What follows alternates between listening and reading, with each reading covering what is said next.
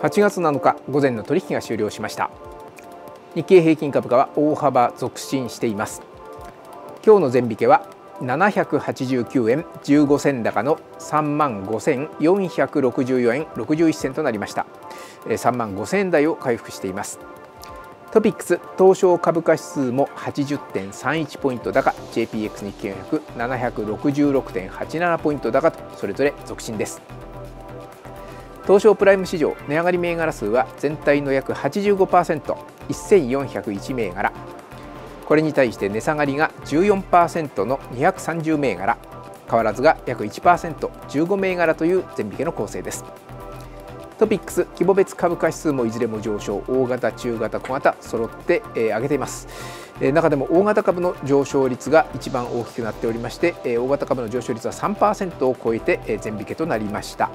大型株主導あるいは株価指数先物主導の上昇で、それにつられて大型株が買われているという側面もあるでしょ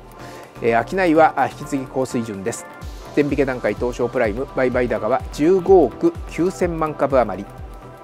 売買代金3兆6658億円、えー、ここ2日間直近2日間では1日として、えー、8兆円近い売買代金をこなしたという7兆円台後半の売買代金を1日通して、えー、こなしたという日が続いておりましたが今日はそれよりは若干少なめということにはなりますがそれでも7兆円は超え1日通して7兆円を超えるペースで全引けとなっています。商い高水準です。今日は朝方は売り注文を先行して日経平均株価午前9時10分過ぎには下げ幅900円を超える場面もありました。え昨日が日経平均3000を超える急反発となったことなどを受けまして、え短期の売りなどが出たという動きもあったということですがただその後地合いが一気に変わったのが午前10時半ごろ日銀の上田真一副総裁が北海道札幌市で開いております金融経済懇談会での挨拶の中で金融資本市場が不安定な状況の中状況で利上げをすることはないと明言したと伝わりました。これを受ける形で日銀の追加加利上げへの観測が後退し外国為替市場では一気に円安ドル高の流れとなりました。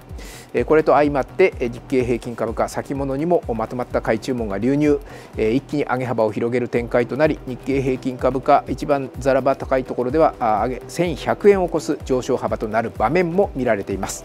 この結果朝方の安値と午前11時前のざらばのここまでの高値は値幅は2100円を超えるという今日も大きな乱高下の相場が続いているという状況であります。前引け段階では780円高と大幅反発大幅続伸しておりますが5番の動きがどうなるでしょうか。